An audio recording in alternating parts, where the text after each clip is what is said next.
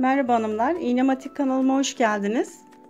Benden oy örneği bekleyen arkadaşlar vardı. Onlar için bir oy örneği hazırladım. Onu çıkartacağız hep birlikte. Ama iğne oyasına yeni başlayan arkadaşlar da merak etmesinler. Onlar için e, video çekmeye devam edeceğim. Yalnız benden iğne oyası değişik modeller bekleyen arkadaşlar için de arada böyle modeller göstermeye çalışacağım. İsterseniz hazırsanız hemen başlayalım. 9 tane boş zürafamı yaptım ben. 10.yu yapıyorum.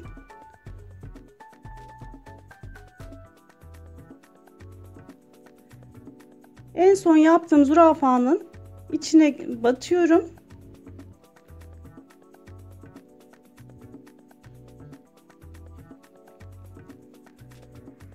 Geri döndüm ve buraya sinek kanatlarımızı yapacağız.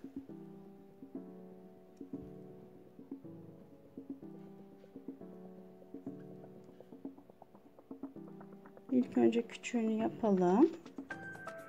Bu şekilde.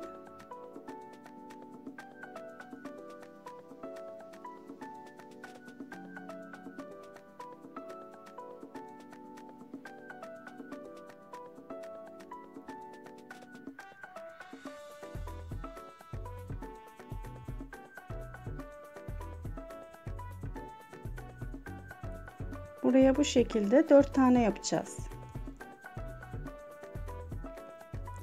Ben aslında daha sık videolar çekmek istiyordum. Öyle düşünmüştüm ama iznim bittiği için tekrar işe başladım. Onun için sadece hafta tatillerimde video çekmeye devam edebileceğim. Yani e, pazar veya pazartesi videolarımı çekmeye çalışacağım.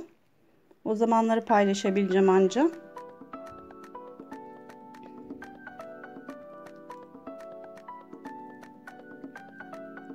Bakın boyada hani düz yazmaya çok güzel oldu. Özellikle mor bir yazmaya çok güzel oldu. Ama isterseniz siz hani çiçekli bir yazmaya da bu örneği uygulayabilirsiniz. Hani yazmanın içindeki çiçeklerin renginden e, şuradaki küçük kirpikleri yapabilirsiniz. O şekilde renk kombinleri yaparsınız. Çok da güzel olur. 4 tane yaptık. Şimdi buraya küçük bir kirpik yapacağım.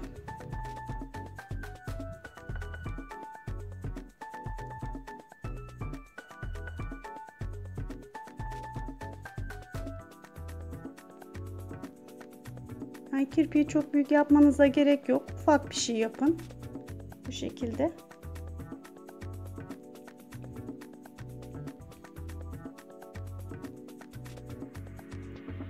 Şimdi boş zürafalarımı yapacağım. 9 tane.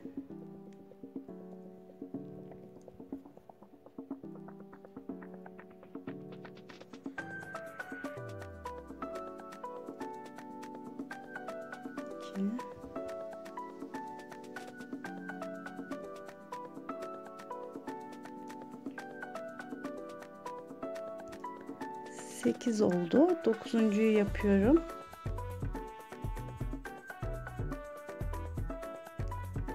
Ben bazı yerlere atlayarak yapıyorum. Hani sizi sıkmamak için. Buraya da 10. boş zürafamı yapıyorum. Bu ara mesafeyi siz isterseniz biraz daha açabilirsiniz, biraz daha kapatabilirsiniz. Nasıl istiyorsanız o şekilde yapabilirsiniz. 10. zürafamı yaptım. Geri dönüyorum.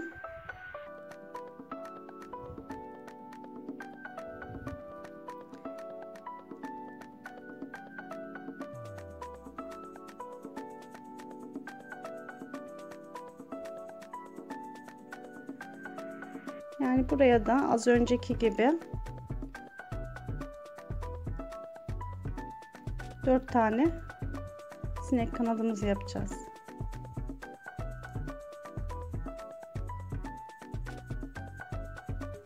Ben elimden geldiğince anlatmaya çalışıyorum ama umarım yardımcı olabiliyorumdur.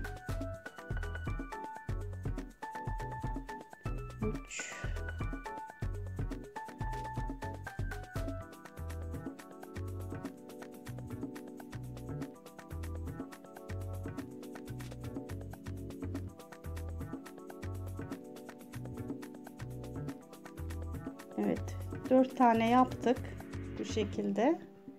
Yine kirpiğimizi yapıyoruz.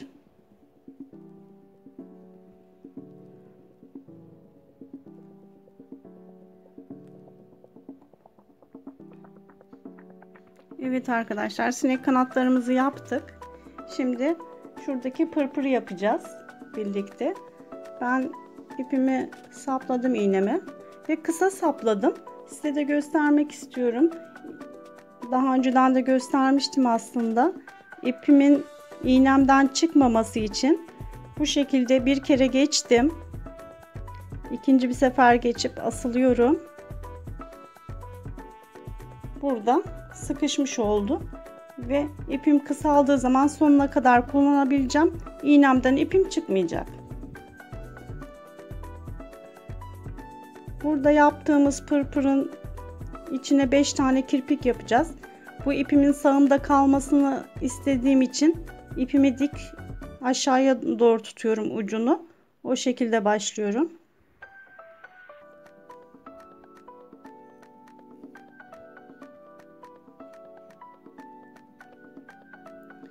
Şimdi şu ipimizin üzerine doğru kirpiklerimizi yaparsak kirpiklerimiz daha düzgün duracaktır.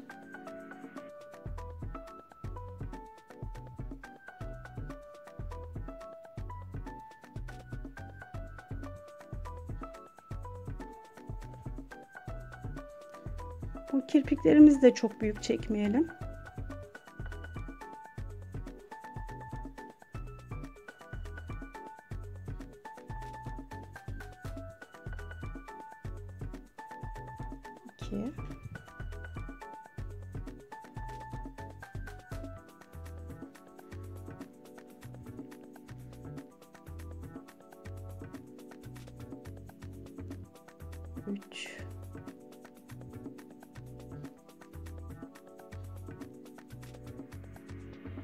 Ben hani yavaş yapıyorum daha böyle anlaşılır olsun diye. Dördüncü kirpiğimizi de yaptık. Bu şekilde. Son kirpiğimizi yapalım.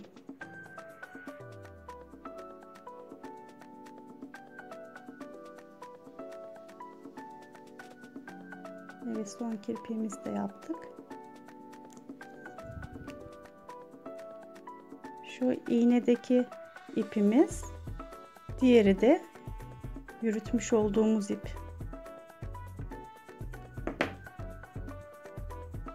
Şimdi üstüne geçeceğiz. Evet arkadaşlar ben ipimi hazırladım bu arada hemen. İpimin solda kalmasını istiyorum bu sefer. Şöyle uzunca bırakacağım ama kısa bırakmayacağım. Bu ipi kullanacağım çünkü. Bu şekilde uzun bırakıyorum. Ve en şuradaki tepedeki sinek kanadımın arasından geçiyorum.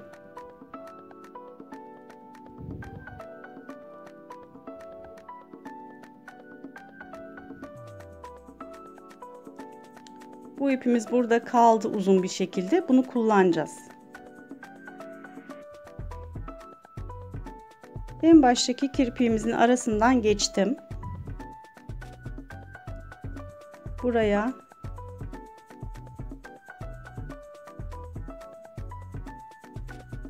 şu şekilde bunların arasına e, sık iğnelerimizi yapacağız. Yani şunu yapmış olduk şimdi. Ondan sonra e, bir tane kirpiğimizi atlıyoruz. Onun yanındakine.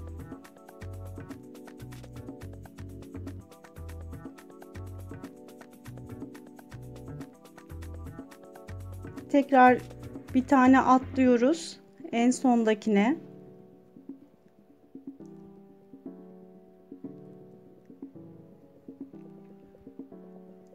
Buradan da bakın şuradan sayıyorum zürafamı. 1 2 şu üçüncü. Araya batıyorum buraya.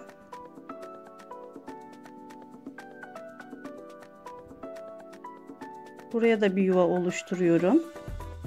Bu oluşturduğum yuvaların arasına sık iğnelerimizi yapacağız üstüne. Ondan sonra bura, bunları ikişer kat yapacağız. Onun için de ben geri dönerek yapıyorum. İsterseniz siz geri dönmeden yapın ama ben geri dönerek daha rahat yapıyorum. Aynı battığım kirpiklerin aralarından tekrar geçiyorum. Çift kat yapabilmek için.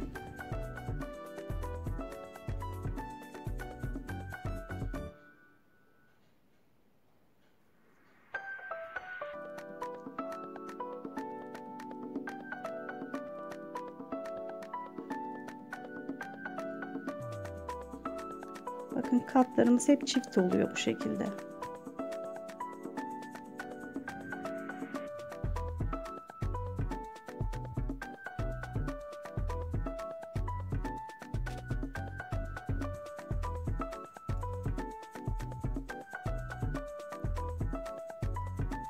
Evet.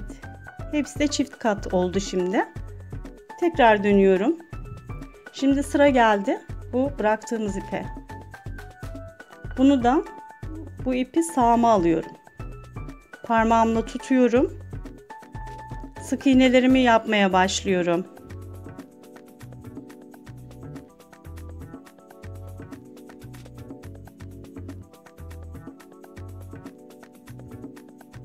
İkinci sık iğnem. Bakın bunu da yürüttüğümüz zaman ne olacak? Buralar üçer kat olmuş olacak hepsi de. Yani 3 kat ipin üzerine sık iğne yapmış oluyorum ve o kadar sert olacak ki kemik gibi.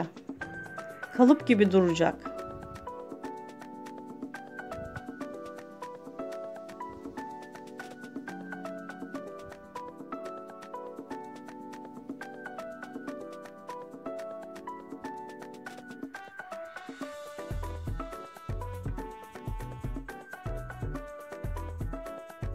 5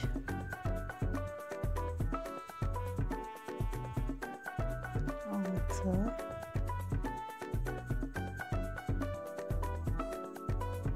7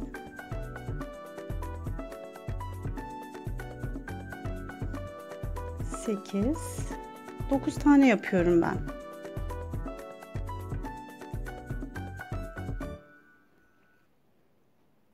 Ama bu yaptığınız yuvaya Hani ben 9 yaptım ama bir tane eksik veya fazla olabilir. Onun için hiç e, kesmeyin oyanızı. Fark etmez yani bir tane eksik veya fazla olabilir. Sıkıntı yapmayın onu. Daha sonra 9 tane yaptıktan sonra bu yanındaki araya batıyorum bu sefer de. Oraya sık iğnelerimi yapacağım.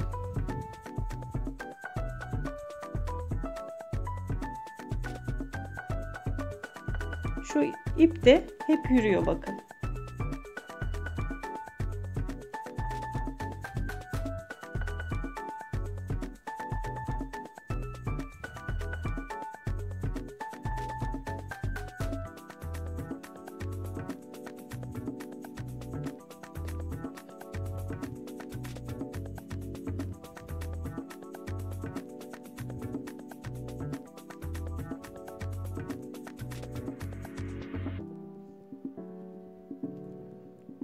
7 8 ve 9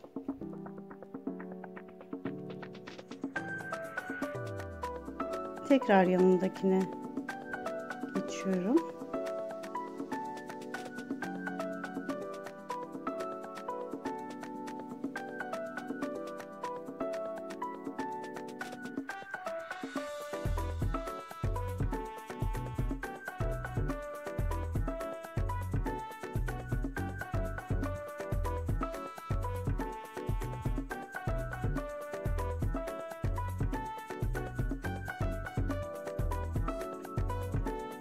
5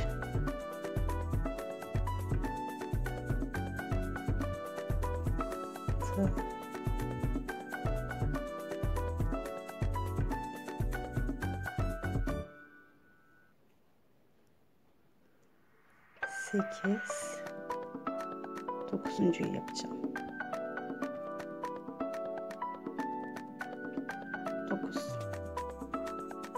Bakın o kadar sert oluyor ki 3 kat ip var çünkü arasında.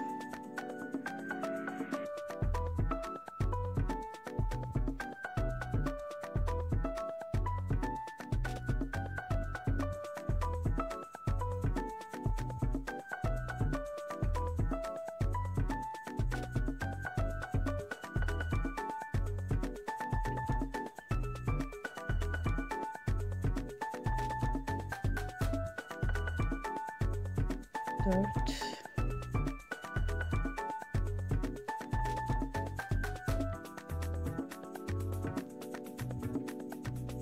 Beş.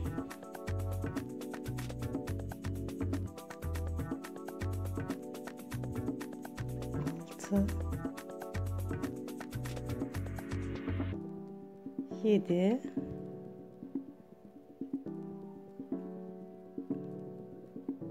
Yedi. Sekiz tane yaptık. Dokuzuncuyu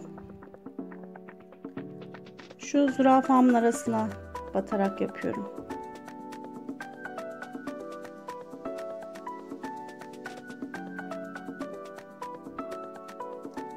Ve keselim. Şu iğnedeki ipimiz. Bu da yürüttüğümüz ip.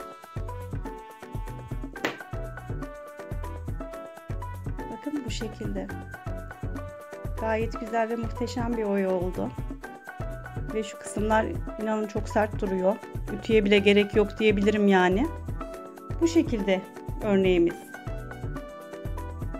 Hanımlar bu arada kanalıma abone olursanız ve like atarsanız çok sevinirim. Hoşçakalın.